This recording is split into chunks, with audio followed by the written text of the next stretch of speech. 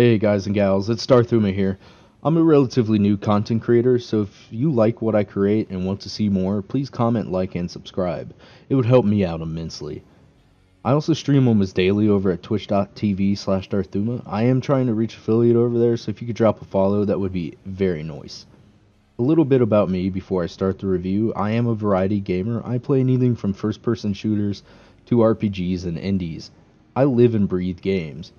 I plan on doing many more Let's Plays and review the game after I am done. I also wanted to say in the very near future I will be getting a new microphone so the audio quality should vastly improve.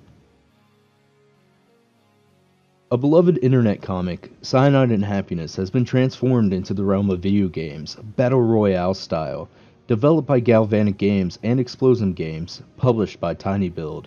Rapture Rejects is an early access top down isometric shooter indie game where the rapture has happened and you didn't make the cut. You and the other rejects have to battle to be the last one standing, while also avoiding the enclosing circle of hellfire.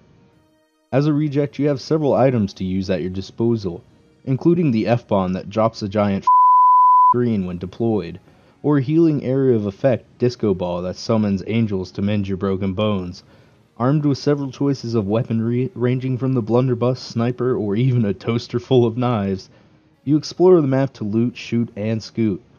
With several chests scattered around and drops from the Heavenly Father himself, there's plenty of loot to be found, like armor or buffs that can improve your range of sight or movement speed.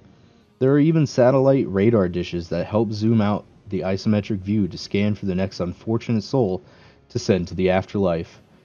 The better you do in a match, the more tickets you receive to spend in the built-in game show called Sinners and Winners, where you use the tickets to spin the wheel of fortune and receive some customizable character skins.